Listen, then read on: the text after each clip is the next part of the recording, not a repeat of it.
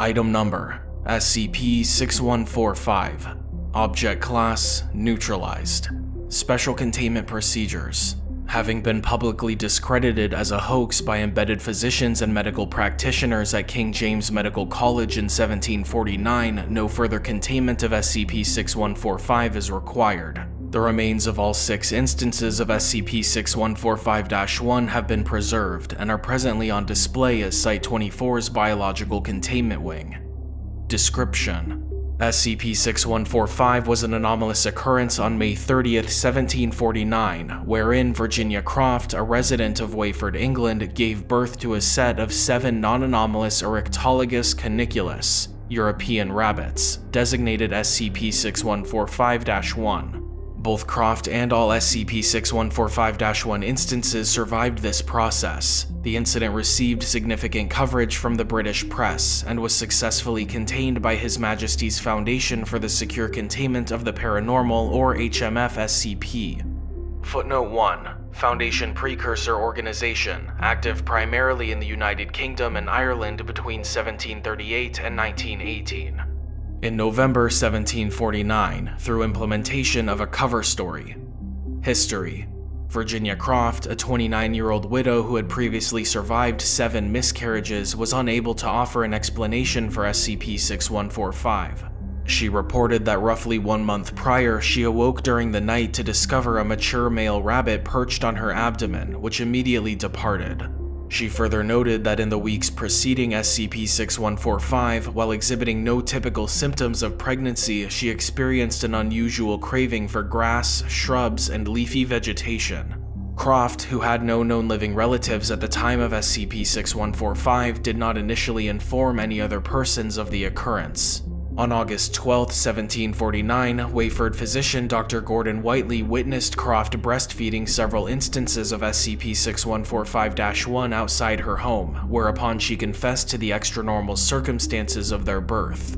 While initially skeptical, Whiteley later testified that he was intrigued by the rabbit's behavior and requested to perform a cervical examination on Miss Croft, Croft agreed to this procedure under the condition that Dr. Whiteley inform no others of his findings. This examination confirmed Croft's claims to be accurate.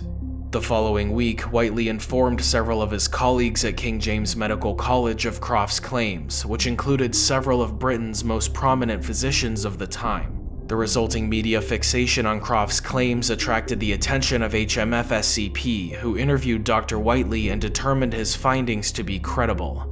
As this incident occurred over two centuries prior to the development of amnestics, His Majesty's Foundation instead focused on discrediting the anomaly. Miss Croft was asked to make a public statement, confessing that the events of SCP-6145 had been a hoax orchestrated by herself alone. Croft refused to comply with the Foundation's demands, unless all instances of SCP-6145-1 were returned to her possession. Unbeknownst to Croft, by this point all SCP-6145-1 had been transported to Facility Alpha for vivisection and were awaiting further testing.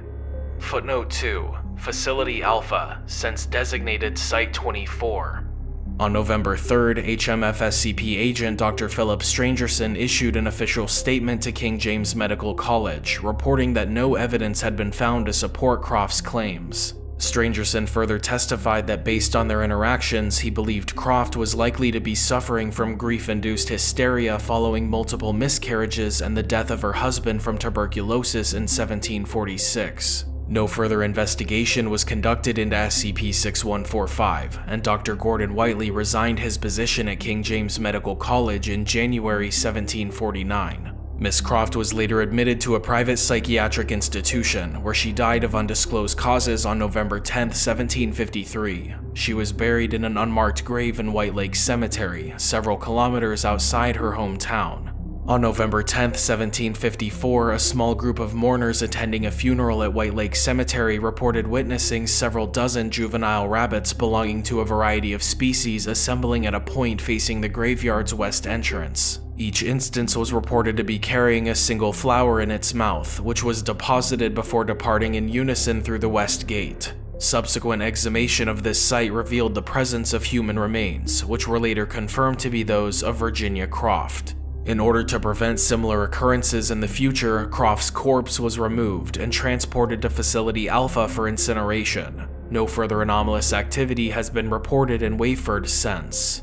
Addendum in 2003, Site 24 director Jacqueline Fleming issued the following statement regarding SCP-6145 and the circumstances which followed. Throughout this organization's history, countless men and women, field agent and civilian alike, have endured untold sacrifice for the sake of preserving normalcy. Few of these cases, however, have garnered the same level of notoriety and intense scrutiny over the ensuing years as that of Virginia Croft. Miss Croft lived in the tumultuous and uncertain era of our forefathers, who were only beginning to probe the mechanics of the impossible. They did not have access to such conveniences as the modern amnestic techniques we take for granted. As a result, they had little choice but to resort to less scrupulous methods of containment, leading to unfortunate and often tragic consequences.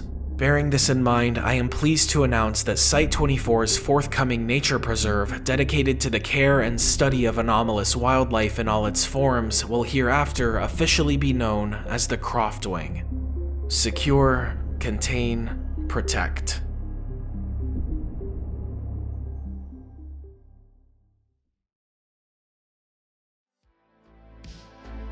Thank you everyone so much for watching and a huge thank you to all of my patrons on Patreon. Special shout out to Everborn, Joe Light, The Bone Man, Brody Hartman, Rubbishbin69, and Doomsday LLC, Prince and Design.